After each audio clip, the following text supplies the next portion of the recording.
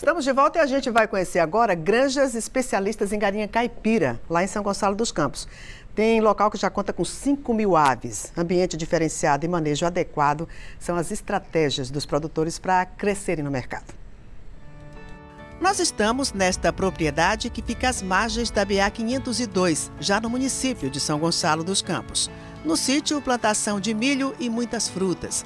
Mas aqui o que chama a atenção é essa quantidade de galinhas espalhadas por todo o terreno. Olha só o barulho que elas fazem.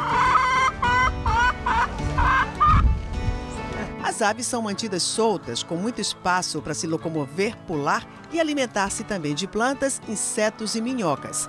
Já deu para perceber, estamos numa granja de galinhas caipiras.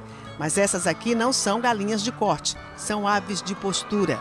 Diariamente, esta é a missão de Newton: recolher os ovos, muitos por sinal. Toda hora tem que me catar ovo, toda hora. Começa cedinho aqui. É, sete horas da manhã.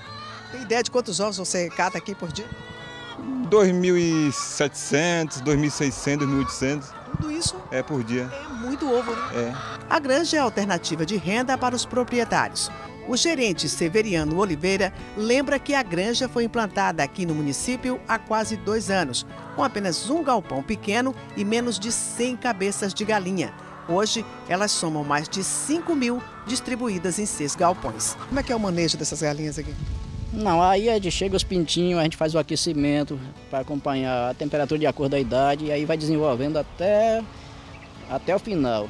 Tem que dar boa ambiência, boa água, boa alimentação, tudo limpinho para poder elas desenvolverem e dar um ovo sadio. A qualidade do ovo depende de todos esses cuidados. Isto é.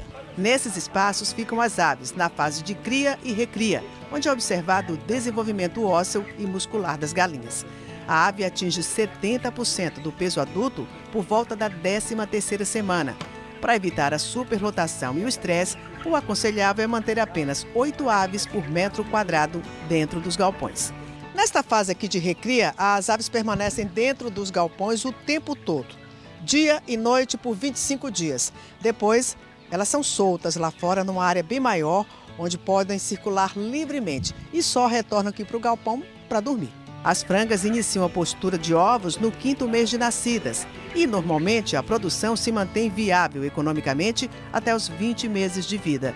Jomilson é um dos 25 distribuidores de aves caipiras para a produção de ovos no estado. Sozinho, ele repassa para criadores da região 600 mil pintinhos por ano.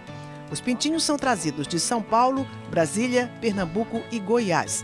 Segundo ele, um ambiente diferenciado e um manejo adequado são fundamentais para o desenvolvimento das aves e para uma boa produção de ovos. Nesses últimos dois anos, a produção de aves caipira na região de Feira Santana teve um aumento de 300%. Só para você ter uma ideia, o mercado está em falta de aves caipira de postura aqui em Feira de Santana. Para você ter uma ideia, o mercado hoje tá, tem o que? Nossa empresa algo em torno de 15 mil aves, estamos recebendo 2 mil por quinzena. O que é que diferencia essa ave caipira das outras?